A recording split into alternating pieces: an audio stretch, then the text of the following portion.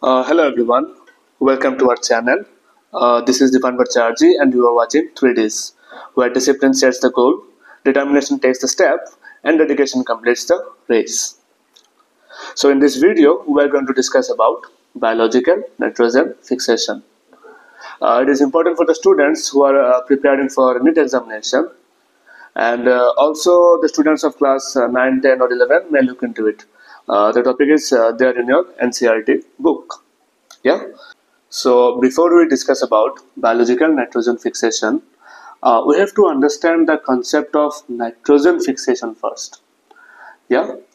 So uh, our atmosphere is a mixture of uh, several gases, but even though our atmosphere consists of several gases, but the main constituent is the nitrogen gas, which contributes around 70% of atmospheric gases. And we also know that the atmosphere is the largest reservoir of nitrogen. Yeah, it is the most abundant gas uh, of the earth and uh, contains about uh, 10 to the power 15 tons of nitrogen gas. But even after the presence of like such a large amount in the air, the nitrogen usually becomes uh, deficient in plants as the content of nitrogen in soil is very very poor and the requirement is very high. Yeah? So uh, this is the like nature's greatest irony that uh, the the most abundant gas in the uh, atmosphere which is uh, very very useful for all the living organism but cannot be consumed directly from the atmosphere. Yeah? It is very important because it is uh, present in uh, foods it is present in plants even our uh, uh, own DNA is made up of uh, nitrogen. So it is very important and on the top of that no plants or animals are able to utilize it directly from the atmosphere. Yeah. So this has to be fixed. This has to be fixed because the nitrogen gas is very very inert. Uh, why uh, we are not able to consume directly from the air? Because it is uh, bonded with triple bond. It is bonded with triple bond. The n2 it is bonded with triple bond. That is n triple bond n. Yeah? So this is one of the most strongest bond and it cannot be broken down so easily. As i've said earlier plants or animals cannot uh, directly consume the nitrogen from the atmosphere but there has to be certain ways through which this atmospheric nitrogen gets uh, converted into usable form for plants and animals.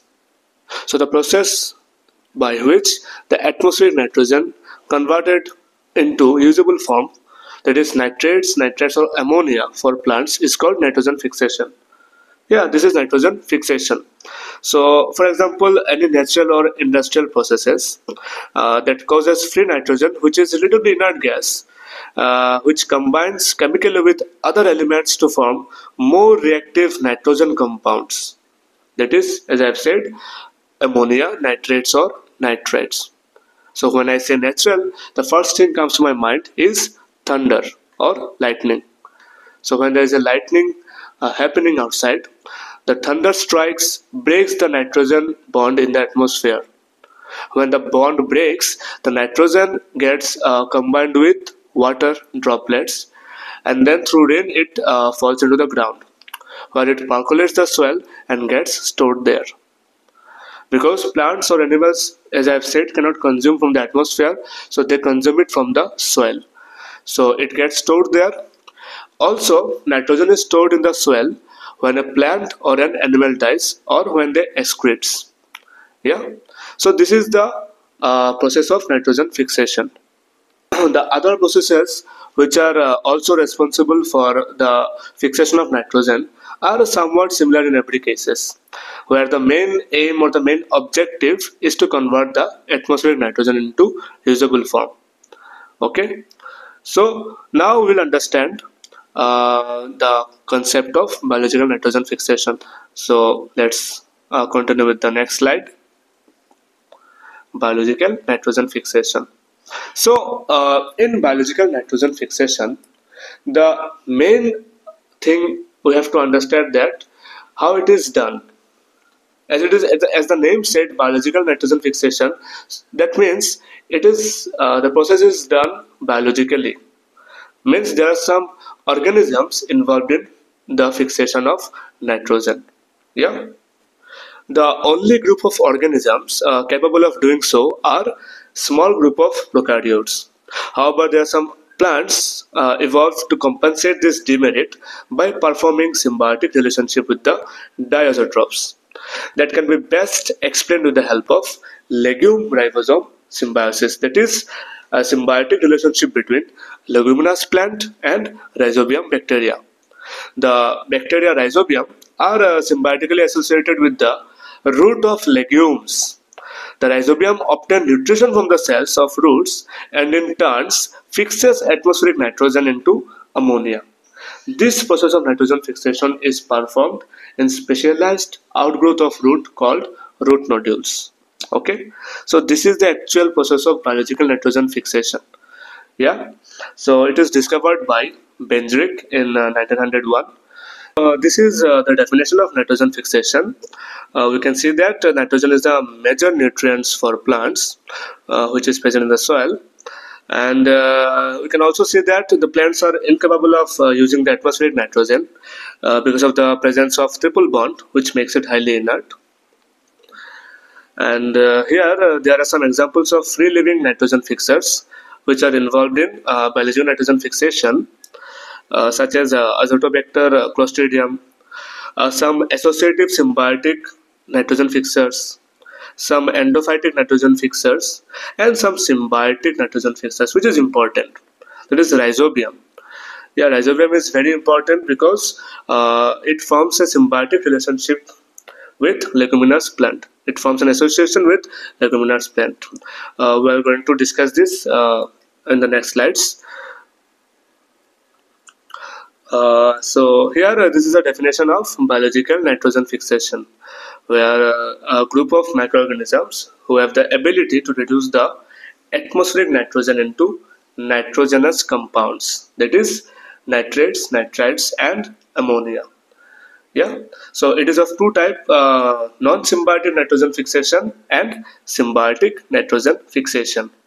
So in non-symbiotic nitrogen fixation, some uh, free-living uh, bacteria are there, which are, uh, uh for example, uh, Azotobacter, Azotococcus, and they are responsible for nitrogen fixation.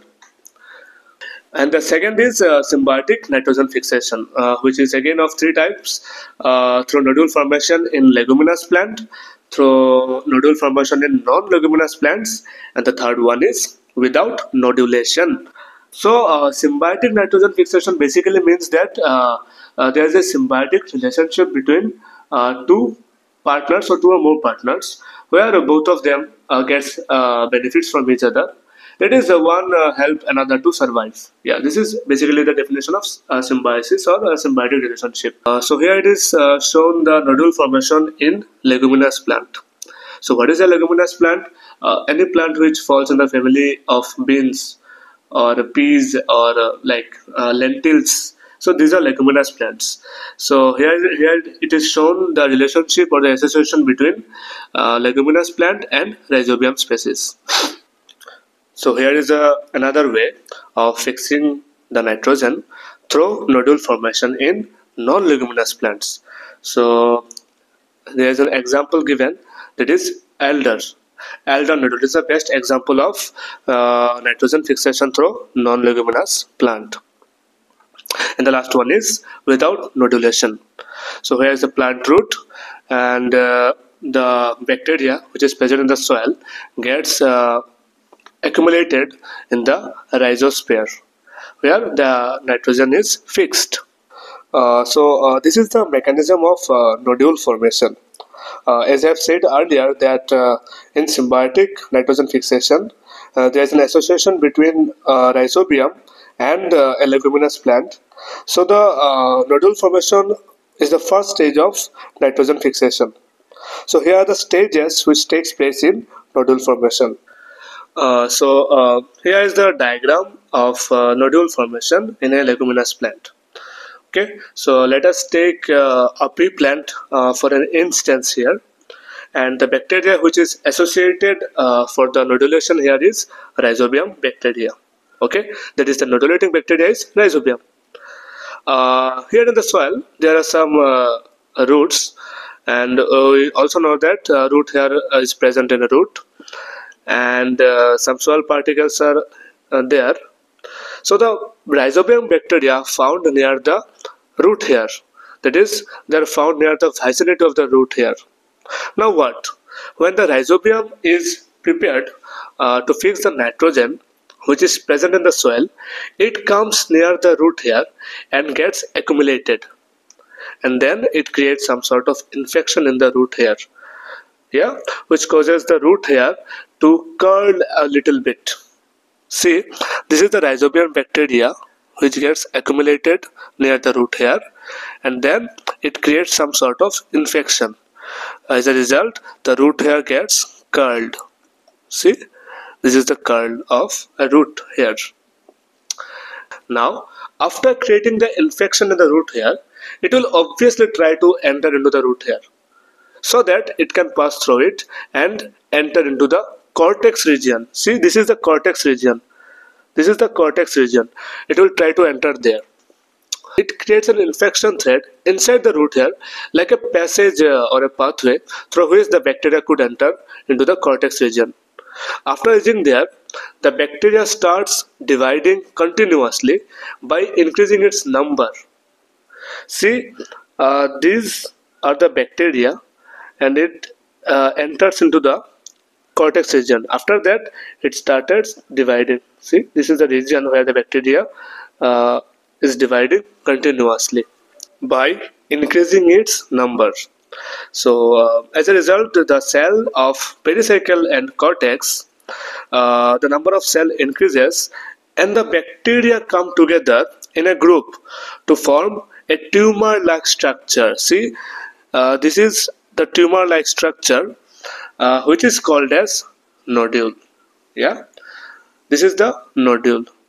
So the bacteria which comes from outside uh, and divides continuously uh, and forms a special type of cell called nitrogen fixing cell or they are called as bacterioid. These are the cells these pink colored cells these are called as bacterioid. And why they are called as special because these cells contains an enzyme called nitrogenase. And uh, it needs anaerobic condition to fix the nitrogen. Because the enzyme only works in anaerobic condition that is in absence of oxygen. So the actual nitrogen fixation is done in those nodules. So uh, this is uh, a more detailed uh, diagrammatic representation of root nodule formation. You can take a screenshot of it for further reference.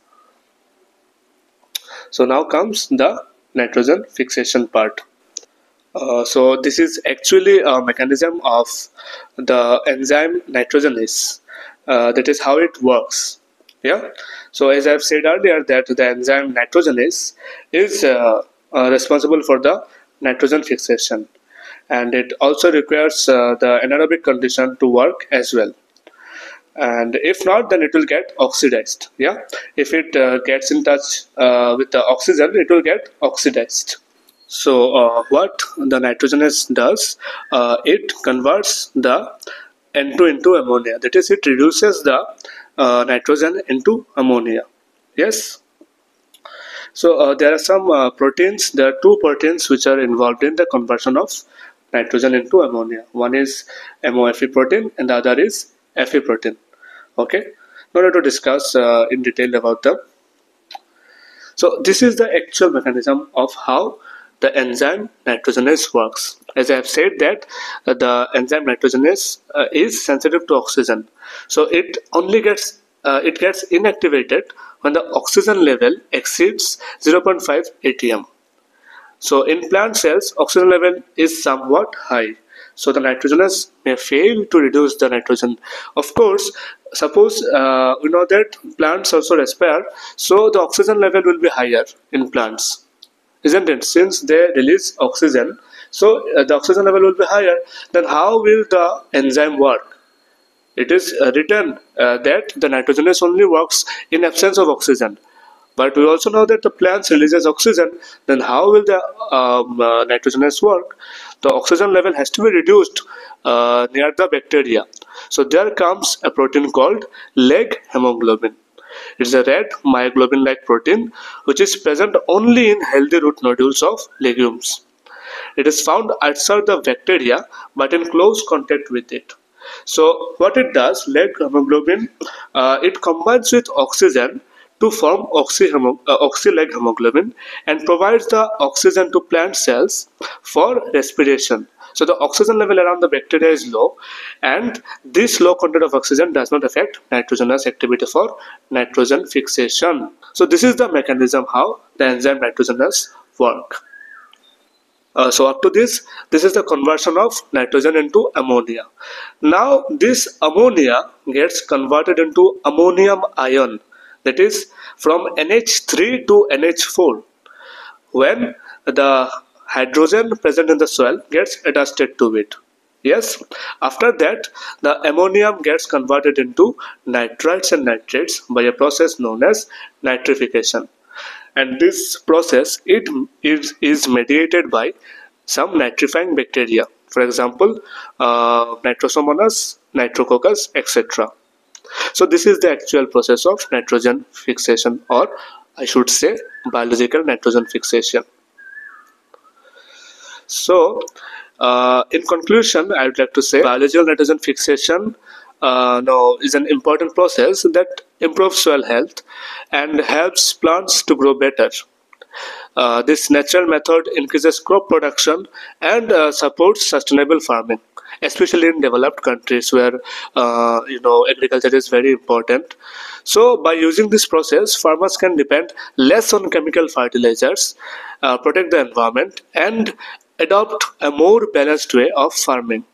In the long run, the, this method can change agriculture, uh, making it better for the planet, cost effective and beneficial for society. So that's it for today. Uh, thanks for watching.